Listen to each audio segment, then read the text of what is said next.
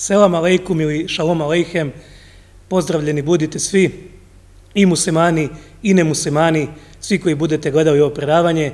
Ja se nadam da će sve ono što budete ovdje čuli biti na korist kako muslimanima, tako i nemuslimanima. Postoji nekoliko načina da se ovo predavanje napravi. Jedan od njih je da se uđe, kao što su nekad možda kršćani radili, e, džonom na poslanika Muhameda, da ga se optuže da je antikrist, koliko je godina imala Ajša kad ju je uzeo za ženu i kad je konzumirao s njom brak, međutim, ja neću ići tim putem. Ovo je moja ispružena ruka i vidite danas da vi u pravoslovnoj Srbiji 2022. imate priliku da slušate lijepe, e, e, lijepo izlaganje o poslaniku Muhamedu. Naša braćo pazarci, cijenite to. S druge strane, postoji mogućnost da se o tome radi jedan e, ozbiljan, naučan elaborat, da se gleda koji su svi izvori utjecali na poslanika, kuransku misiju, kako se slago kuran, ja isto tako neću. Ovo je jedna romansirana verzija e, života poslanika koju ja vidim svojim očima i za koju ne tvrdim da je nužno točna, ali je to onako kako sam ja doživio poslanika. Zašto ovo predavanje? Pa bolje da je ovo predavanje nego da e, paradiraju oni koji se ponose što ne vole žene. Vidite da se neke stvari mijenje na bolje, kako Rusi rabotaju u Ukrajini, tako se i mi ovdje u Srbiji malo popravljamo. S druge strane, na ovo predavanje me potakla herojska borba e, Čečena i drugih koji se bore u specijalnoj operaciji i na neki način želio bi im se odužiti ovim predavanjem našoj braći koja e, vjeruju u istog Boga, ali ga slave možda na malo drugačiji način. Isto tako, jedan lični i osobni razlog je moja ljubav prema našim bošnjama. Oni znaju da, ja, da ih ja volim. Kad sam nekad ne kritičan prema njima, znaju da to radim iz ljubavi.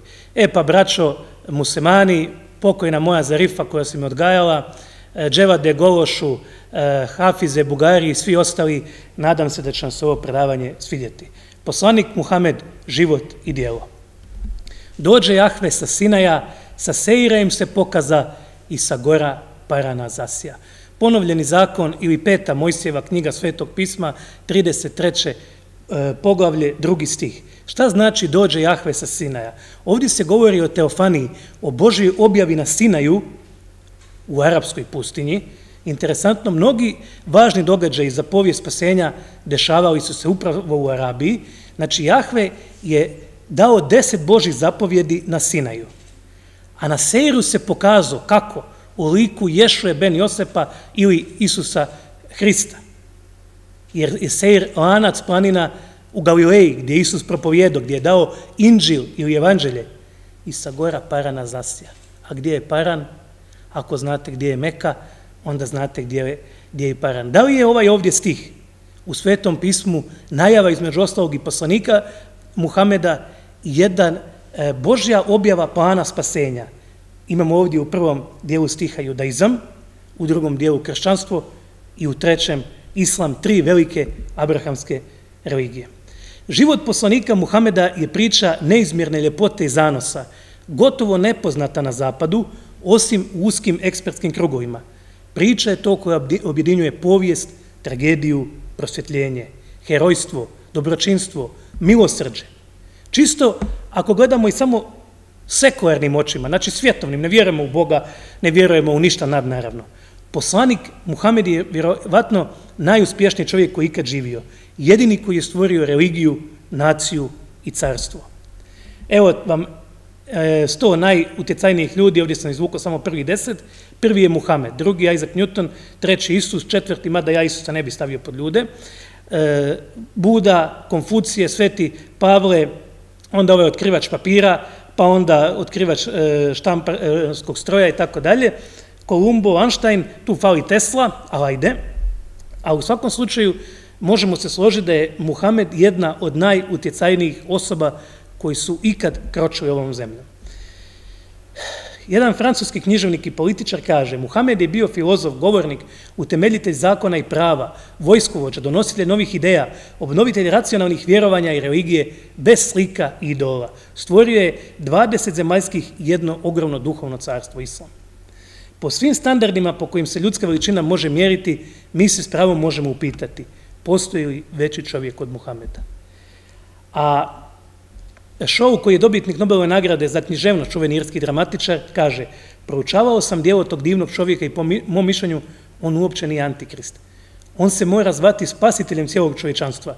Kad bi čovjek kao Muhammed preuzeo vlast nad modernim svijetom, on bi jedini mogao uspješno razriješiti probleme i donijeti toliko potreban mir i sreću. Nemoguće je za bilo koga tko studira život i karakter velikog arabskog proroka, tko zna kakav je, kako je on učio i živio, da osjeća bilo šta drugo osim poštovanja za tog moćnog čovjeka, jednog od najvećih poslanika Svevišnjeg. Uvijek iznova osjećam novo i novo poštovanje i divljanje za ovog velikog arapskog učitelja, kaže čuvena ezoteričarka Ani Besent, znači čak i ona, e, a evo tu i Crowley kojeg ja smatram negativcem, međutim čak i taj Crowley se mada sam pročitao više, više manje, ne baš sve njegove knjige, jer ima puno, ali brojne njegove knjige, on kaže ovako, Muhamed pokoj duši njegovoj se pojavio u strašno i fatalno vrijeme kad je svaka civilizacija i svaka religija propadala zbog zloče iskrivljenog kršćanskog učenja. Ocrnjeni loše svačeni još uvijek sakriven u prašini zato što se pojavio u vrijeme najveće pokvarenosti i mraka. Njegova istinska volja bila je da ujedini sve ljude u jednu razumnu vjeru i da omogući e, suradnju svih rasa u nauci. Allah, jedinstvo postojanja i nepostojanja. To je sad već viša ezoterija za koju nemamo ovdje vremena. Utemeljio je kalifat jednog od najvećih carstva svih vremena, kreirao svjetske jezike, klasični arapski, začeo novu književnost, naravno arapsku, ujedinio raz, e, e, razjedinjena arapska plemena u moćnu naciju, utemeljio islam.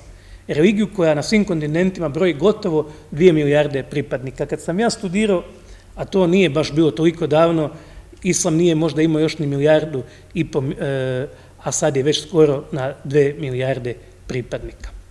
U islamu Muhammed predstavlja sve najuzvišenije ljudske vrijednosti, on je poslanik posljednji najveći u dugom nizu koji počinje od Adama ili Adema, preko Abrahama ili Ibrahima, kako oni kažu, preko Mojsije ili Musa, Isusa ili Isa i na kraju do Muhameda koji je za njih pečat proroka. Prvi ispit na mom fakultetu koji je bio, e, baš mi je bilo pitanje islam, to je bilo e, nauka o religijama ili znanost o religijama i prvo pitanje mi je bilo islam. Svi su se oni borili prema muslimanima da riječ Bože donesu čovječanstvu. Islam znači ne samo mir, nego bolje u stvari i pokornost, a musliman i onaj koji je pokoran Bogu. Znači, to je put e, kroz pokornost Bogu. Samo spajanjem, kako kaže e, Barnaby Rogerson, e, najboljih vrlina Aleksandra Velikog, Diogena, Aristotela, cara Konstantina, svetog Pavla i svetog Franje, mogo bi se razumijeti veličinu tog iznimnog čovjeka. Ali svi ti uspjesi, nacije, jezik, carstvo, književnost, bijahu samo nus proizvodi. Jedino što je Muhammed želio bilo je stvoriti nov odnos između Boga i čovječanstva. Ja bi svoje kršćanske vizure, pošto sam ja kršćanin, rekao palog čovječanstva. Potpuna predanost Bogu, rad na sebi, briga za zajednicu, to je pravo poslanikova nasljeđe. Za milijune, e, milijone ljudi danas Muhammed je sve prisutan u njihovim, njihovom unutarnjem duhovnom svijetu. Molitvi, podbožnosti, dobrim dijelima. On je patrijar koji na, stoji na čelu svetaca, junaka i dobrih vladara. On je neumoljiv zakonodavac koji im jasno ukazuje na puteve sudbine. Oni koji vode u raj ili dženet i oni koji vode u pakao ili džehenem. On je voljeni djed, predvoditelj molitve u džamiji, on je junak koji se žrtvuje koji ulazi u vatru duhovnog svijeta za dobrovi čovječanstva, duboko potresen jer mu se Bog obratio preko svojih anđela i poslanik Muhammed kaže kad bi vi znali ono što ja znam, ne bi se smijali, nego bi plakali. I dao jednom jednu sliku, kaže on svojim vjernicima, vi i ja smo slični čovjeku koji je zapalio vatru oko koje su se stali skupljati leptiri, a oni stade tjerati od vatre. I ja vas tjeram od vatre, ali mi vi nekako izmičete iz ruku. Bio je veliki ljubite žena. Za sebe nije tražio nikakve raskošte ni bogatstva. Toliko su potpuni bili njegova radost i zadovoljstvo u društvu njegovih žena. On je kod žena voli apsolutno sve, i njihove mušice, i promjene raspoloženja, i sve ono što muškarcima smeta, Muhamed je to volio. On je vodič mistika, derviša, sufija, pjesnika i bogotražitelja u njihovim duhovnim putovanjima. Jedini čovjek prema islamu koji je putovao do raja i vratio se poslanikov opis njegova vlastitog mističnog putovanja u nebesa, gdje su ga dočekali proroci koji su tamo došli prije njega, duboko je utisnut umove pobožnih muslimana, poput zajedničkog sjećanja iz djetinstva. Na dan sjećanja na veliku Abrahamovu žrtvu, Dječak će pratiti oca na veliko okupljanje muslimana u džamiju pod otvorenim nebom. Tamo će se nakratko osjetiti kao odrastao, kao poštovan član zajednice. Jer u islamu poštovanje zadobivaju ne oni koji kače gole grudi na Instagramu, nego oni koji kroče sigurnom stazom tradicije. Oni koji su svjesni da smo dijednog jednog stabla od naših predaka, koji su korijeni i naših potomaka koji su grane nove, zdrave mladice. Koji je okvir e, njegovog dolaska na svijet? Manje od 200 godina, 50 godina osnivanja Carigrada ili Konstantinopolisa, znači Rimsko carstvo je već bilo zapadno i gotovo kad se on rađa, više od 500 godina nakon što su ljudi ubili svetog Nazarečanina Isusa, 900 godina od smrti Aleksandra Makedonskog, tada se rađa Zora nad Mekom, svetim gradom Arabije. Jer on je i prije Muhameda sveti grad. 570. godine Meka je dom za kojih 20.000 duša. Bez zaštitnih zidova, okružena planinama, od planina je dijel jedan zid, kuće prate pješčane i šljunčane e, ceste, čineći jednu, kao što vidite na ovoj slici, zanimljivu zvijezdoliku formaciju. Zvijezda u kojoj se rodio poslanik Muhammed. Evo da malo to bolje vidite. Za vrlih noći običaj je spavati e, na podvedrim nebom da bi se uhvatio malo svežeg zraka ili vazduha. Ulice su od jutra pune trgovaca, mladih djevojaka koje nose vodu, putnika, namirnika, čuje se veseli dječji smijeh, Rika, de, Deva, Kamila.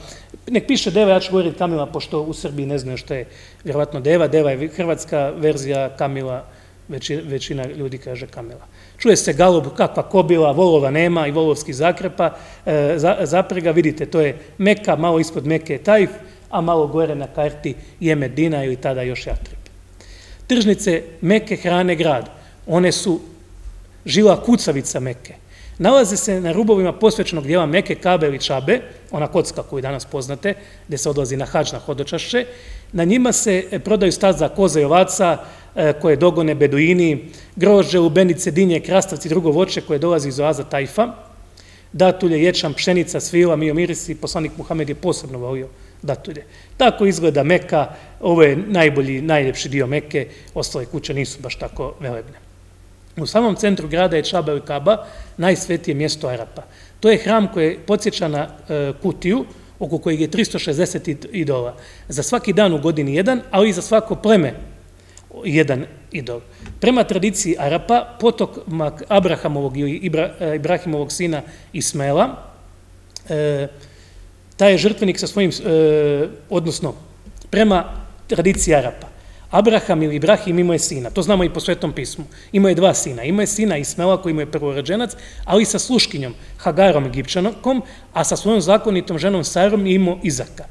I prema, tu je uvijek svađa između židova i muslimana, ko je podigo žrtveni, koga je žrtvovo e, Izak, e, Abraham ili Ibrahim, dao jednog sina ili drugog, i oni tvrde da je on pokušao žrtvovati i Ismela i da su tu obnovili taj nekakav žrtvenik kojeg je još podigo Adem ili Adam, prvi čovjek koji je bio sposoban razumijeti Božju objavu. U unutrašnosti se nalaze sveti predmeti, rogovi ovna koji su navodno ostali tu tada već 2500 godina od tog žrtvovanja, a i slike bogorodice sa djetetom Isusom. Ovo je Abraham ili Ibrahim i sjetimo se obećanja Božjeg u Svetom pismu kad mu Bog kaže o Abrahame vidiš li zvijezde na nebu, toliko će biti brojno tvoje potomstvo. Danas potomstvo Abrahama broji nekoliko stotina miliona ljudi po krvi, to su uglavnom Arapi i Židovi, i otprilike oko preko 4 milijarde ljudi, bilo kršćana, bilo muslimana, bilo židova, koji su njegovi duhovni potomci. E sad uzmite da je Bibliju pisao neki po ateistima napušeni palestinski čobanin, kako je mogao predvidjeti da će jednog dana milijarde ljudi slijediti put Abrahama? Nad svetištem dominira prikaz Boga rata Bala Hubala. Bal je gospodar, a inače i suprug na hebrejskom, i onda kad vi kažete e, zvao me suprug, vi u istom vrijeme kažete zvao me gospodar. Tako je, takav je tamo odnos prema ženama. Jednom godišnje, kroz mjesec dana, dana traje hodočašće, sva arapska plemena e, su dobro došla, neprijateljstva se stavljaju po strani, zabranjena su krvna osveta, koja je inače u tim društvima najnormalnija stvar, i svi oblici ratovanja. Običaj je da se časti nag, znači bez odjeće. I oni onda ovdje kruže oko ovih, pa trče, pa se penju gore, pa se vraćaju, i tako je to izgledalo prije dolaska islama. Iako postoji kršćanska i židovska plemena Arapa, i nije ih malo, Ipak u šestom stoljeću kad se rađa poslanik Muhammed, još uvijek većina Arapa e, pripadaju toj staroj paganskoj vjeri. Uz Boga rate slave i Alat, boginju plodnosti, Boga groma i druge. Znači, to je ipak bliski isto, tamo su e, ti orgijastički kultovi koji se slave uz zbijanje male djece, uz e, e slavljanje te nekakve svete ženstvenosti na nekakav izopačan način, gdje se e, uz prostituciju, postoje njihove svečenice, su takozvane sakralne prostitutke, znači dužnost muškarca je da s njom ima seks, e, tu su često i orgije sa ovaj, životinjama i tako dalje, znači jedan vrlo za nas, s naše točke godišta, a mislim sa svakoj točke godišta nemoralan, ovaj, pristup religiji i Bogu, koji će se uskoro promijeniti. Crni kamen je ostatak monoteizma, jer su Arapi, pošto bili potomci Abrahama, bili monoteisti. Međutim, s vremenom su skrenuli sa puta i taj ostatak tog monoteizma je mnogo puta uništavan, pogođen iz katapulta, namazan izmetom, utkraden, pa su ga otkupljivali, razbijen u fragmente, ali je preživio do naših dana. On kao meteorit zapravo je sljeđenje zapovjedi iz Biblije.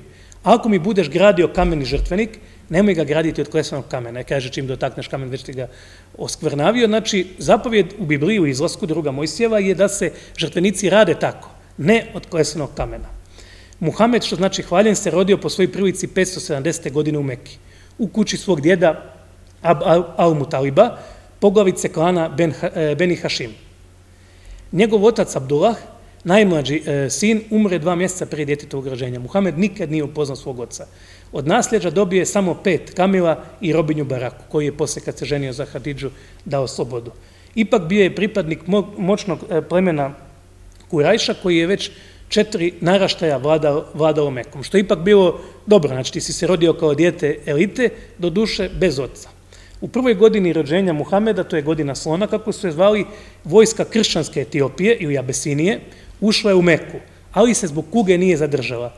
Da je etiopska vojska, oni su imali jako pobožne vladare, slično kao Srbi, koji su svoje živote završavali kao monasi, da je etiopska vojska ostala u Meki, da je tamo ostavila stalnu posadu, možda bi kršćanstvo dobilo velikog sveca. Ali povijest je krenula drugačije. Etiopija je vladala Jemenom, jedinom zemljom na tom prostoru koja, zahvaljujući indijskim monsunima, ima dovoljno vode i zelenima, jer padaju kiše, najveći grad Jemena Marib bijaše opasan zidom 4,5 tisuća metara, evo ovo je ostalo tog grada.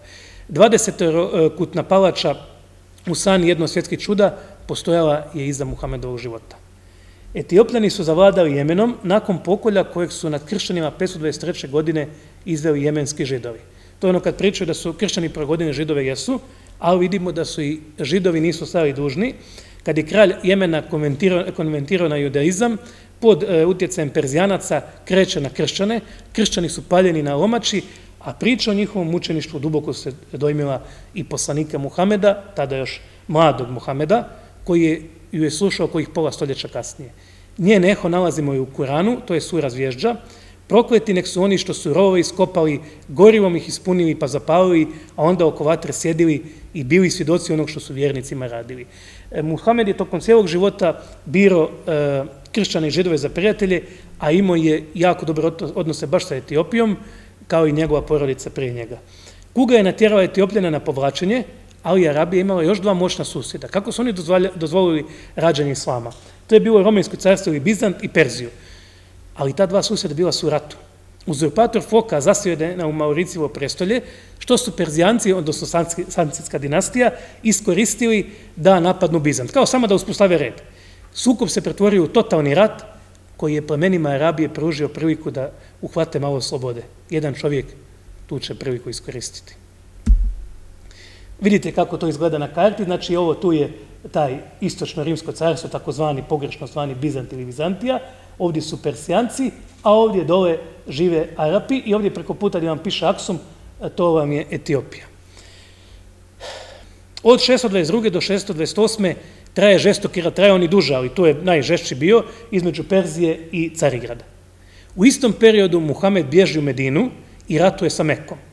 Teško je zamisliti da bi arapska vazalska plemena Perzije i Bizanta, Lahmidi i Gansanidi, znači to su bili Arapi koji su bili, jedni su bili vazali Perzije, drugi vazali Bizanta, dozvolili prekid unosne karavanske trgovine da nisu bili zaokupljeni ratom svojih gospodara. Nije teško pogoditi na čiju stranu bi e, stali e, e, svi oni, da li ugodnih mekanskih kurajša trgovaca ili siromašnih napadača iz Meke, nekakvih vjerskih fanatika, nekakve nove vjere. A samo jedan jedini bizanski ili persijski general, inženjer, lako je mogao okrenuti tog rata na stranu Kurajša, odnosno protiv muslimana. Evo ovo je prikaz jednog slavlja pobjede u Bizantu nakon rata sa Perzijom. Tako je to tada izgledalo. 570. u Meku ulazi povrka Beduina, znači u godini Muhammedovog rađenja, iz bratstva Ben Sada, jedno pleme Havazini i jedna žena, Halima, ponudila se kao dojilja za bogate mekanske majke. Ova majka koju je izabrala nema supruga. I sad je pitanje da li će ta majka dobiti ikakvu nagradu, zato što su e, beduinke dojile mekansku djecu i onda bi posle dolazile godinama po nagradu. Kad god bi došla u Meku, ta djeca bi ih posle častila. Ona odlazi do muža na tržnicu da ga pita za savjet, muž je dobro raspoložen i kaže uzmi dječaka, možda će nam biti blagoslov. I zaista dječak je e, blagoslov, Halima se poslije sjećala da dok nije uzela Muhameda gotovo da nije imala mlijeka, a onda je mlijeko krenulo u potocima. E, zašto se to radilo? Djeca bi rasla mekanska u pustinji, zato da bi e, bar na početku života imala takav, tak, takav zdrav pa i surov na, e, početak života, što je u svakom slučaju bilo dobro, da bi se malo iz gradske vreve izbacili, e, e, izmakli. S druge strane, beduini bi nešto zaradili i na taj način su se brisale socijalne razlike. Mekanske obitelji, e, bogate, gradske, povezivale su se sa beduinima od kojih su na kraju krajeva i potekli. Muhammed je sa Halimom i njenom djecom dijelio lijevu stranu šatora gdje su nekad bile žene i djeca. Ona se rado sjećala tog obilja mlijeka, mlijeka kojeg je imala, a sa šest godina vraća ga majci, s kojom je nažalost bio manje od godinu dana prije nego je umrla.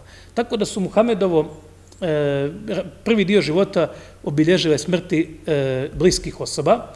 Nakon e, smrti majke za njega se brine djed, čiji je bio ljubimac, jedini od sve unučadi, a ima, znate koliko ima unučadi, smio na dnevnom, ležati pored njega na dnevnom ležaju, tamo bi ga masirao i tako dalje, ubrzo umire i djed, pa je za siročića nastavio brinuti stric, koji nije bio toliko moćan, pa e, djed koji je bio najmoćniji čovjek u Meki, stric više nije bio. S osam godina, kao i drugi arapski dječaci, obrezan. Bez Kamile, Arapi nije muškarac, ne može postati ni ratnik, ni trgovac, ni ljubavnik. Ona je vitezu jedna tank, a za trgovca kamion, za mladića, sportski auto, tako je Muhammed učio kamilama kako je ne napraviti rane od tereta koji se na nju stavlja, kako je dati hranu i koju, nauči im je vjerovati, nauči ih je voditi, jer kamio je jedno čudo prirode. Samo kad gledate njezno oko, koje se cijelo vreme važi da ostane, da pjesak ne ulazi u to oko, kad vidite njezine trepavice kako su okrenute i obrve, kad vidite da ona ima i treće oko, e, kad vidite njezine papke za hod po pjesku, e, grbu u kojoj stvari nije, e, nije za vodu, nego je tamo masta iz koje se onda posle izvlači voda, kad vidite njezin raspon temperature koji je nevjerovatan, pa se zato toliko ne znoji, onda se pitamo da li je Kamila nastala od nekakvih životinja koje su išle u pustinju da vježbaju Survivor ili je Kamila čudo Božeg ili Allahovog ili Elah na hebrejskom u svetom pismu našem, Jahve, Elohim, kao god hoćete, Božeg stvaranja. Učio je o krajoliku pašnjacima, o tome kako e, veličina karavana određuje rutu, o pregovaranju sa neprijateljski raspoloženim plemenima, o nestabilnim političkim prilikama u gradovima kojim onda mogu oteti kad se mijenja neki vladar pa više ne vrijede dogovori e, teret, o robi, voću, povrću, tkaninama, koži, mirisama, začinima, tamjanu, jer velika većina tamjana dolazila za potrebe svih religija e, iz e, Arabije. Karavana za Arape nije bila toliko vojni pohod koliko obiteljsko poduzeće. Između 582. i 610. pola života proveo je putujući sa karavanama. Put karavana bio je put povijesti Arabije, gledajući drevne ruševine, Muhammed je sigurno mnogo razmišljao o Palmiri, ogromnom carstvu koje se uzdiglo za vreme Rima, onda se pobunio protiv Rima i propao o Petri koji dan danas obilazimo i drugim gradovima koji su se uzdizali, a onda bili kažnjeni zbog svoje oholisti, o Sodom i Gomori i drugim gradovima. Kuran to opisuje riječima, načini života prošli su pred tobom, putuju zemljom i vidi kako su završili oni koji nisu htjeli slušati poruke Božih glasnika. U sirijskom gradu Bostri, velikom gradu tada trgovačkom, Svečnik Bahira, što znači velečasni na sirijskom, prepoznaje u Muhamedu budućeg proroka dok je još bio dječak. E, došla je cijela karavana, Bahira ima osjećaj da je tamo svet čovjek i traže da ugosti sve pripadnike, sve članove te karavane. Međutim, nijedan nije odgovarao. I pitao je da li još neko sa vama, kaže samo još jedan dječak najmađi među nama, dovedite ga. Nalazi mu znak na leđima i kaže ovo je budući prorok. Kasnije će to isto potvrditi svečenik Nestor, kad je Muhammed imao 25 godina, a još sa 21 godinom dobije nadimak El Almin, to mi kažemo Amen ili Amin, znači pouzdani, Amen znači nešto pouzdano, čvrsto, stameno. U sirijskom gradu Bostri, kršćanski svećenik Bahira, jednostavno bio je tamo dio, to su bili nestorijanci, e, to su bili i akobiti, znači postale su razne kršćanske skupine u tim krajevima i mnogi Arapi, kao što smo rekli, bili su, e, bili su kršćani. E, bio je prosječne visine, kovrđave kose, izježan u mačenju, rukovanju, lukom i strelom hrvanju. Kod rukovanja ostalo je zapamćeno da nikad nije prvi spuštao ruku, sugovorniku je posvećivo potpunu pažnju, kažu da mu je lice neobično sjajilo. Što inače, uobičajeno za sve te ljude. Zato ih crtamo sa onom aureolom. Jednom prilikom sa skupinom mekanskih mladića sakupio je novac da obešteti jemenskog trgovca kojem je bogati mekanac e, napravio nepravdu, oteo mu je njegove proizvode jer mu ovaj nije mogo ništa. I Muhammed je organizirao svoje drugove da mu pomognu. Glas o njegove pouzdanosti daleko se čuo, bogata udovica Hatidža, povjerovam joj je da je proda robu u Siriji. U pratnji robe bio je jedan njezin sluga, koji kad se vratio imao je samo riječi hvale za Muhameda. Preko posrednice ponudio mu je brak, Muhamed je odgovorio, što se mene tiče, ja sam spreman. Hatidža kaže Muhamedu, volim te iz mnogih razloga, uravnotežen si čovjek, nisi pristran u korist ovog ili onoga, zbog bilo čega, pouzdan si, imaš dobru narav. Na koncu volim te zbog istinosti tvoga govora. Ljubav je bila obostrana, Muhamed se nije okoristio njenim bogatstvom, ona je sakranila dva muža, nego ga je dijelio siromašnjima za hatidžnog života nije uzimao druge žene. Kasnije se ženio nekoliko puta, najviše voli Ajšu, većina brakova bili su dinastički, neki su bili e, da ožene, da oženi neke udovice, jer e, poligamija, koliko god nju Bog u Svetom pismu nikad nije odobrio, nije ju izrečito tada ni zabranio. Zašto? Jer je poligamija u ono vrijeme socijalna ustanova. Znači, žena ostaje bez muža koji pogine u ratu, jer su muškarci tada dosta ginuli, i ostaje praktično na ulici E, osuđena da prosti i da bude prostitutka. I zato su često puta muškarci žene i više žena, ne zato da bi e, utažili svoju e, pohotu, nego zato da bi pomogli tim ženama udovicama. Ne da ono ženi deset mladih žena koje se mogu udati bez njega, nego da pomogne ženi koja jednostavno nije imala izlaz. Hatidža mu je rodila šestor djece, nažalost ponovo smrti, dva sina umrla su još kao mala. Mladi rob Zaid toliko je zavolio Muhameda da kad su njegovi, njegova porodica, kad ga je našla, i donijela nova za otkupninu, on nije htio, a Muhammed odbija bio kakav novac, darovao mu je slobodu i posinio ga je. Njegov ugled toliko je narastao da je čak postao sudija kad su se korajši posvađali, kad su adaptirali taj hram, ko da digne taj kamen ovaj, i da ga ponese. I onda je on preomio tako, nek svi uzmu kao jednu prostirku i dignu ga zajedno sva plemena. Znači, došlo je do velike časti poštovanja u društvu, bio je jedan najuglednijih, ako ne i najugledniji čovjek u Mekiji, a onda će se njegov život za ovih promijeniti. Ostoje bez svega što je krvavo desetljećima stecao. 40 godina kao siroče steca je ugled i metak, prijatelje i ostaje bez svega. 40 godina nakon rođenja Muhamed se u Meki drugi puta rodio. 17. noći mjeseca Ramazana 610. godine u pećini na obranci na brda Hire, potražuje mir od klaustrofobične mekanske atmosfere u vrijeme sezone hodočašća dolazile bi desetine tisuća Arapa i on bi uvijek običavao sa svojom porodicom otići. Molio se, postio i kao i obično, kao i čitav život tražio Boga. A ovaj put Bog je odlučio potražiti Muhameda i uzeti ono što je njegovo. Probudio se u jednom strahovitom užasu u nekakvom užasno jakom stisku. Ležeći tako sav slomljen, začuje riječi, recitira ili pjevaj ili čitaj ili govori, to, su, to je sve ista riječ bilo u arapskom tada. On to nije mogao jer nije bio pjesnik. Nije bio čak ni pismen. Ali se anđeo komio je takvom snagom na Muhameda da je Muhamed pomislio će puknuti. Pjevaj u ime gospodara, Boga koji je stvorio čovjeka iz jedne kapi krvi. Recitiraj, gospodar je preobilan te perom, te, te perom poučio čovjeka ono što nije znao. To je sura broj 96 kap krvi, prva sura. Tako se počeo stvarati Kuran, riječ Božja koja je došla kroz Muhamedova usta. Prva reakcija Muhameda bila je strah i odbijanja, to nije tako rijetko.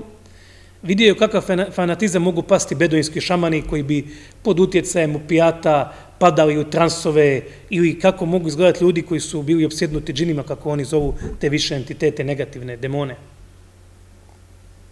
Pokušao se ubiti skokom sa brda, ali gdje god bi se okrenuo vidio je Anđela Džibrila ili Gabriela, koji je postao, kaže Muhammed toliko velik da gdje god bi se okrenuo bio bi on. Odvukao se nekako natrag u pećinu u zaštitu svoje žene Hatidže, koja ga je i prva priznala prorokom Božim. To je ta pečna, vidjeli ste. Njezin rođan Varakva bio je kršćanin i rekao je Muhamedu, bit ćeš optužen da lažeš, progonit ćete izbjegavati i stjerati iz Mekke.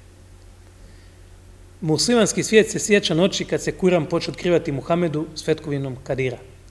Nitko ne zna točan datum, negdje 17. 27. to pada i onda kažu neka svaka noć Ramazana bude Kadir. Tad su molitve, imaju posebnu vrijednost u islamu.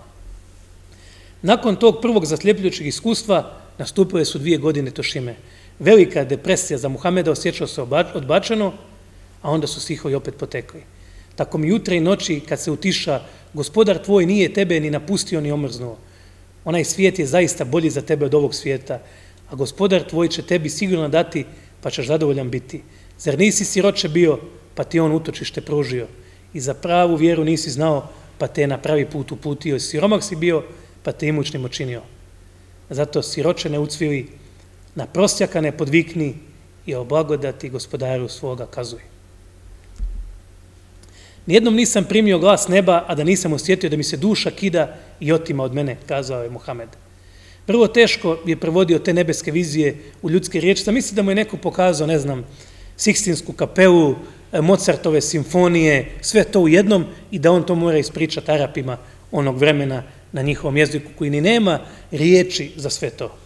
Za njegova života Kuran je bio u usmenom obliku, postao je sedam oblika recitiranja i dan danas imate na tisuće hafiza, znači ljudi koji znaju na pamet čitav Kuran. Imate djecu hafize od 5-6 godina, ima ih i kod nas. Oni bi pustili da im zvuk kuranskih stihova obuzme cijelo tijelo, onaj ko ne čita Kuran na arapskom, koga već ne zna na pamet dalje od izvora. onaj koga ne čita na arapskom, još je dalje, ja pošto se služim hebrejskim, po neku riječ razumijem, ali ne dovoljno da bi mogo na pravi način živjeti Kuran. Usisat ga u sebe, pusti da ono meni izvanja i onda ga iz sebe ponovo tako proživljenog izbaciti. Svaka sura, znači taj dijelić Kurana može stajati sam za sebe, kao strofa da kažemo, a i kao dio cijeline. Sve one vode vjernika na putu prema božanskom izvoru života.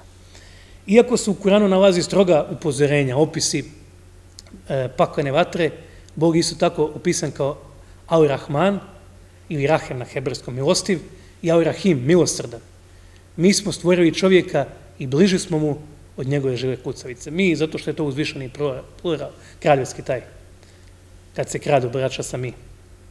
Znači, Bog je u islamu, u Kuranu, bliži čovjeku od žive kucavice. Uzvišena misao, nevjerovatna, evo, meni se sviđa, recimo, ovaj hadis, sedam će osoba Allah staviti u svoj hlad na dan kad ne bude drugog hlada osim njegovoga. Allahovog hlada.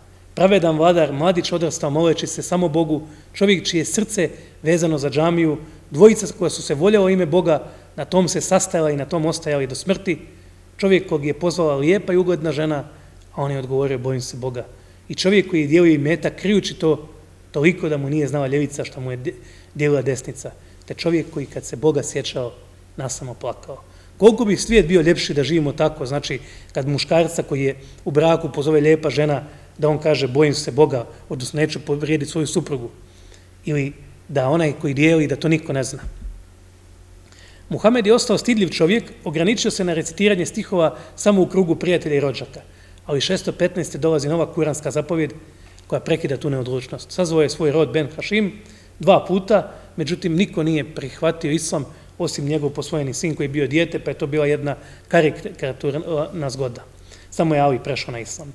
Arapi Meke smatrali su islam prijetnjom, ranije je to bila samo jedna neobičnost, inače besprekojenog čovjeka, ali sada njegove priče o sudnjem danu u kojoj nisu vjerovali, u zagrobnom životu u kojem, Arapi nisu vjerovali, o rušenju njihovih bogova koji su im donosili pobjede u ratu i dobru trgovinu, sve je to zvučalo za Arape nevjerovatno strašno. To je bilo grozno razdoblje za poslanika, kad je on u trenutku slabosti zamalo dodao u Kuran sotonske stihove, odnosno kad je ti dozvoli da se časte neke paganske boginje, što bi mu bez sumnje otvorio put kod Arapa, međutim, Muhammed na kraju prekorio sam sebe i na taj način pokazuje jedno veliko osobno poštenje. Plemena Mekke tražili su od Abu Taliba, vođe Muhammedovog plemena, da obuzda nečaka. Uprko s napadima, ljepota Kurana polako je nalazila put do srca i umova sve više ljudi. Duhovna stvarnost, Bog moćan, pravedan, ali brz na oprostu i milosrđu. Bog koji postavlja zakonje prirode prema kojima svi postajemo od kapljice sjemena, od jednog spermatozoida mi danas postojimo. Jedinstvena životodajna sila koja ljudi ne mogu ni zamisliti. Sve je to osvajao umove prvih muslimana. Tko će dati život i strunovim kostima, reci onaj koji, je, koji ih je stvorio, da će im opet život. On poznaje svakog stvora svojega. Počeli su prvi progoni muslimana, Muhamed šalje prve muslimane u kršćansku Etiopiju, kršćani im prođe utočišće i oni su tamo optuženi od strane Mekanaca, da su otpadnici, da su strašna sekta, a onda su oni etiopskim vladarima recitirali suru Merijem ili Marija, Mirjam u hebrejskom. Mi smo k njoj Meleka Džibrila poslali i on joj se prikazao liku savršeno stvorena muškarca. Utjenčem se milostim od tebe, ako se njega bojiš, uzviknu ona. A ja sam upravo i zaslanik gospodara tvojega, reče on, da ti poklonim dječaka čista, Isusa. Kako ću imati dječaka, reče ona, kad mene i nema muškarac dodirno nije, a ja nisam nevaljavica. To je tako, reče on. Gospodar tvoj je rekao, to je meni lako i zato da ga učinimo znamenjem ljudima i znakom milosti naše. Tako unaprijed određeno. I sad dalje čitajte sami, kad su etiopljani čuli ovu suru, svi od vladara do dvorjena su se rasplakali e, i ostavili su muslimane u Etiopiji. Nakon smrti Hatidže i strica e, Muhammed ostaje bez zaštite, prolazi najteži period u svom životu i tada bolno moli, o Bože, tebi se žalim zbog svoje slabosti, bespomoćnosti i poniženosti pred ljudima, o najmilosrdnim među milosrdnima, ti si gospodar slabih i ti si moj gospodar. U čije ćeš me ruke predati, za ćeš me dati tuđincima koji će sa mnom zlo postupati. Čovjek koji je bio najgledniji čovjek, znači Srbije, na jedan put ostaje bez miliona, bez svega što ima u životu, ugleda, poštovanja i svakoga može ubiti kao psa. Bježi u Tajif, ali tamo doživljava novo poniženje. E, stanovnici Taifa ne samo da mu nisu pružili zaštitu, nego su samo djeca, i nego su čak i djecu slali da ga pljuju, da ga gađaju kamenjem. I u tom trenutku Muhammed ima viziju anđela koji kažu poslaniće Boži, hoćeš da ih uništimo, da satremo Taif sa zemljom. A on kaže ne, pusti da ako oni ne vjeruju, možda njihovi potomci jednog dana povjeruju. Danas u Taifu nema nemuslimana. Nekoliko drugih plemena odbija mu dati zaštitu i na kraju nalazi jedno koje pristaje, vraća se u Meku, doživljava onaj noćni let o kojem smo pričali i neočekivano, njegovo propovjedanje, stalno je propovjedao hodočasnicima, niko od Beduina ga nije slušao, na jedan put nekoliko hodočasnika iz Jatriba, buduće Medine, postoje njegovi sljedbenici. Sljedeće godine 20 Jatribljana polaže zakletvu.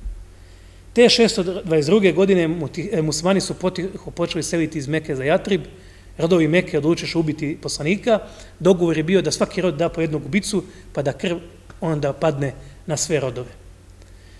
Muhamed i njegov vjerni pratilac Abu e, Bekar da pustili su Meku 15. lipnja te godine. To je hijđra, to je ono što slave muslimani.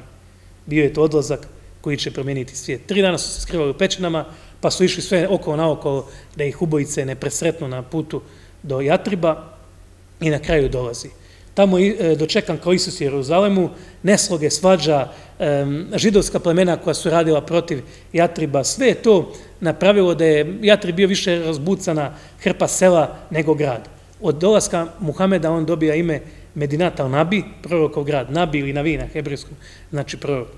Muhamed je pustio da ga kamila odvede do jedne ogromne ruševine, jer nije htio da mu daju nekakvu palaču, nego gdje ga kamila dovede.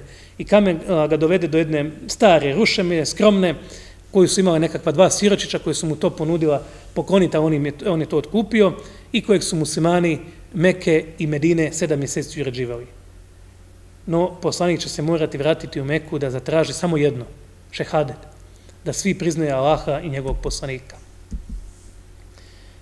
Lav e, Tolstoj kaže, Muhammed je e, dovoljno da bude ponosan na to što je jednu primitivnu zajednicu ograzu u krvi izbavio iz viška kanđi roznih običaja. Pred njom je otvorio put uspona i napretka, Muhammed je zakon će svijet voditi u e, sporazumijevanje s razumom i mudrošću.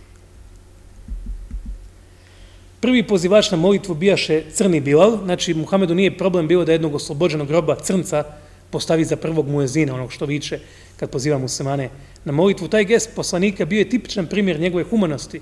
U islamu nije bilo razlike između muškarca i žene, između slobodnih i robova, između crnih i bijelih, između Arapa i nearapa. Poslanik nikad nije sjedio kad bi ostali radili, recimo kad su jedni, jednom je njegovi prijatelji dizali rogor, on je krenuo skupljati drva za vatru. Njegov sluga jednom prvikom izjavio, on je mene služi više nego ja njega. Nije dozvoljavao da mu se čuvaju svečana mjesta na raznim svečanostima, nego bi sjeo gdje bi bilo slobodno. Ne bi bio zadovoljan s ovim velebnim džamijama koje danas gledamo, rekao bi zaista od svih stvari, tako je rekao pred smrt koji se bojim da će se dogoditi nakon mogu odlaska s ovog svijeta, i ovo, da će nam se sviditi urosi i svjetovna dobra i odite u Saudijsku Arabiju pa gledajte kako, koliko daleko od skromnog Muhameda žive danas ti šejkovi. Pitajte ove starlete kako šejkovi žive, oni su im češ, drage gošće, valjda da bi ih obratili. Muslimani Medine počeli su napadati mekanske karavane, nakon poraza kojeg su pretrpili na Bedru, Mekanci su željeli osvetu, tamo su muslimani zarobili jednu karavanu. 23. 3. 625. došlo je do bitke kod Brgda Uhud, u kojoj 3000 mekanaca teško porazilo 700 muslimana, jer je 300 vojnika prije toga pobjeglo, pa još Muhammed potjerao djecu e, koja su htjela, koja su se našla među vojnicima, i tu su muslimani jedva sačuvali živu glavu. Dvije godine kasnije u bitci na Hendeku, e, na otkopu 3000 e, muslimana pobjeđuje 10.000 mekanaca. Muhammed sklapa mir sa Mekom, kojeg Mekanci dvije godine kasnije krše. Posle Hendaka muslimani su pokali sve židove Medine. Prve, e, prva prvo dva plemena su pustili da se sele prvo sa imovinom, drugo bez imovine, a u trećem ne sve židove, nego sve muške židove, na to se misli. To je strašno djeko Arabijom, zato što u najčešćim sukobima Mekanaca i muslimana ne bi bilo više od sto poginulih s obje strane. Znači, s obje strane sve zajedno sto. A sad je odsječeno 700 muških glava. Čitavo jedno pleme je nestalo, što je bilo strašno. Ta vijest je uzdrmala Arabiju, iako je poslanik, kao što smo rekli, rado birao i židove i kršćane za, za prijatelje i tamo kod, e, u onoj bitci e, je i poginuo jedan židov na strani muslimana, izdajstvo e, medinskih e, židova Muhammed nije oprostio. Da tada nije pokazao surovost, njegova kasnija milost prema Meki bila bi svačena kao slabost. Znači, poruka, nekad morate biti surovi da bi bili nakon toga milostivi, jer inače niste milostivi, nego ste slabi. Mahatma Gandhi, koji je dobro poručio Muhamedovu biografiju, kaže, poželio sam upoznati tog čovjeka koji neosporno pljeni srca miliona i miliona ljudi. Nedvojbeno sam se vjerio da sablja nije bila sredstvo pomoću kojeg Islam stekao svoju poziciju, već je to bila jednostavnost tog proroka, praćena preciznošću, ispunjavanjem datih obećana, obećanja te njegova potpuna odanost prijateljima, privrženost sljedbenicima, hrabrost i apsolutno pouzdanje u Boga tokom izvršavanja svog poslanja. To su osobine koje su presudno krčove put i otklanjale teškoće, a nikako sablja. Nakon što sam završio čitanje drugog dijela prorokovog životopisa, shvatio sam koliko mi je žao što se tu završava. To je govorio Gandhi. U Meku Muhammed ulazi 630. pobjedosnost 10.000 vojnika, uništava poganske kipove, ali ne da da se uništi ona slika bogorodice s djetetom. Nije više bilo sile u Arabiji koja mu se mogla suprostaviti, ubrzo osvaja i Tajif, i Tajif prelazi na islam koji ga je tako ponižavao svega nekoliko godina ranije. Prema nepremiteljima je bio blag, jedan vrač je priznao da ga je prokleo, Muhammed ga je pustio. Više manje je svim najvećim neprijateljima poštedio život. Kako je pala Meka? Meka je pala praktično bez ispaljenog metka, da to kažem figurativno, svega par ljudi je ubijeno koji su se nešto bunili, a tako što je Muhammed poduzeo niz i ženitbi i drugih veza sa Mekancima, na kraju su se Arapi koji nisu radoporni međusobno rodili, izmirili i Meka je pala bez krvi. Tisuće Arapa e, prelazili su na islam fascinirani ponašanjem te prve generacije muslimana, njihovom odlučnošću, njihovom vjernošću, njihovom solidarnošću. Muhammed se dopisuje s raznim carima, poziva ih da prihvate islam, perzijskim vladarima, bizanskim, etiopskim. Umire možda od posljedica trovanja jedna židovka, ga je najvjerojatnije otrovala 632. godine. On kaže tamo, jedna od zadnjih sura koje je dobio pred smrt je ona koju ja znam i napamet, reci, ja se neću klanjati onima kojima se vi klanjate, a vi se nećete klanjati onome kojima se ja klanjam. Kada Allahova pomoć i zaštita i pobjeda dođu i kad vidiš nevjernike gdje u Allahovu u vjeru ulaze, ti se raduj. U rijekama u Allahovu u vjeru ulaze, ti se raduj i hvali ih svoga gospodara jer oni uvijek pokajanje primao. Vidite, njegov posljednji govor bio je veći govor o narode moj, napni uši, slušaj, jer ne znam hoću li nakon ove godine ikad više biti među vama. Stoga slušajte pozorno što vam imam za reći i prenesite moje riječi onima koji danas nisu mogli doći. O narode moj, baš kao što ovaj dan i ovaj grad držite svetim, taka nek vam životi i imovina budu sveti, svakog muslimana. Vraćajte dobra koja su vam povjerena na njihovim pravim vlasnicima. Ne nanosite nikome bol, da vam bol ne bude naneseta. Sjetite se da ćete u istinu stati pred svog gospodara i da će on izmjeriti vaša dijela. Mada je u islamu važnije srce od dijela, su važna i dijela, jer su dijela posljedica ispravnog srca, ispravne vjere. Bogom je zabranio zaračunavati kamate na posuđeni novac, sve kad bi to današnje banke danas čuve. Stoga se od sada ukidaju sve kamate. No vaša je glavnica, samo vaša i zadržite je. Ne trebate nanositi nepravdu drugom, niti je trebate sami trpjeti. Sva prava i dužnosti što proizlaze iz krvne osvete iz vremene prije islama se ukidaju. Ukida se krvna osveta. Točno je da vi muškarci imate prava prema svojim ženama, no imaju i one prava prema vama. Revolucionarno za ono vrijeme. Ako one obavljaju svoje dužnosti, onda im pripada pravo da ih ljubazno hranite i odljevate. odjevate. Lijepo se vladajte prema svojim ženama i budite im dobri, jer su one vaše družice i najbolje pomoćnice. Svakog dana obavljajte svoje dnevne molitve, postite za Ramazana, dajte milostinju, idite na hađiluk, ako si to možete priuštiti. Svi ljudi potiču od Adama i Eve, zato Arapin nije ispred nearapina, niti je nearapin ispred Arapina. Niti je crnac bolje od bijelca, niti bijelac od crnca. Kakve riječi? Muslimani čine jedno bratstvo, ne može zakonito pripasti muslimanu što je pripadao drugom muslimanu, osim ako mu je dao slobodnu volju. Sjetite se da ćete se jednog dana pojaviti pred Bogom i odgovarati za svoje dijela. I tako dalje, i tako dalje. Rumi, koji po mom mišljenju, jedan najvećih ljudi koji su ikad živjeli, kaže Muhamed je napredao kroz mnoge nivoje postignuća. Pazite jednu misao Muhamedovu gdje kaže Allah, ko meni krene hodajući, ja ću njemu trčeći. Ko mene spomene u društvu, ja njega spomenem u boljem. Svaki put pri postizanju novog nivoa svačanja on je molio za opraz za svoje priješnje znanje. Samo je poslanik Muhammed imao izdržljivost u kontemplaciji Boga u svim njegovim aspektima. U abstrakciji pročišeno je od svega drugog i u manifestaciji. Muhammed je odbio ostati zarobljen na bilom kojem stupnju duhovnog rasta, kaže Rumi. Za muslimane povijest poslanika i te zlatne generacije i danas je živa i aktivno sudjelovanje u tkanju života. Kadafi, Kadafi priča o katastrofi, on ne priča o bombardiranju Libije od strane Amerikanaca, nego o gubitku Grenade.